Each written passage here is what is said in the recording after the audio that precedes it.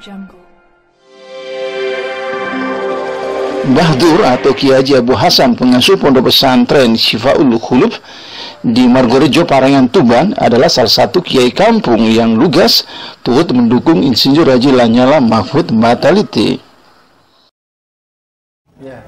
Mbah Dur dan masyarakat insya Allah siap mendukung Pak Nyala semoga berhasil hmm. insya Allah